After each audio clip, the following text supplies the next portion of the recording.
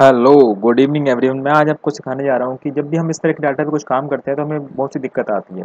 जैसे सपोज़ मेरे पास ये दिल्ली में कुछ डाटा है, राम, श्याम, मोहन, सोहन का मुझे यहाँ पर टोटल करना है तो मुझे क्या करना पड़ेगा? यहाँ पर एक रो को इंसर्ट करना पड़ेगा शिफ्ट के साथ सेलेक्ट किया कंट्रोल प्लस किया, और यहाँ पर मैंने जाके ओल्ड के साथ इक्वल टू प्रेस कर दिया।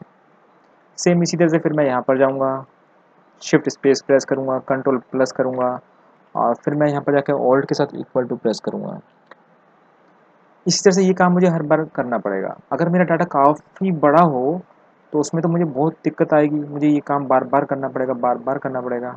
तो कुछ ऐसा पॉसिबल नहीं है कि ये एक ही बार में सब पर टोटल हो जाए। चलिए देखते हैं, मैंने कंट्रोल जेड किया अंडू अंडू अंडू अंडू चलिए स्टार्ट करते हैं। सबसे पहले मैंने क्या किया, इस डाटा को सिलेक्ट किया यहाँ तक। उसके बाद मैंने प्रेस किया कंट्रोल जी और यहाँ पर मैं गया स्पेशल पे। और मैंने यहाँ पर कॉन्स्टेंट पे क्लिक करके इसे ओके कर दिया।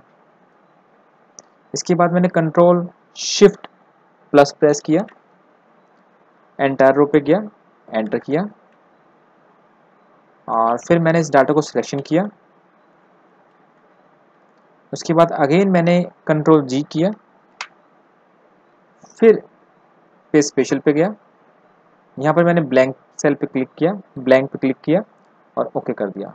उसके बाद मैं ओल्ड के साथ इक्वल टू प्रेस किया तो सबका टोटल एक साथ हो गया। Thanks for watching my video please subscribe my video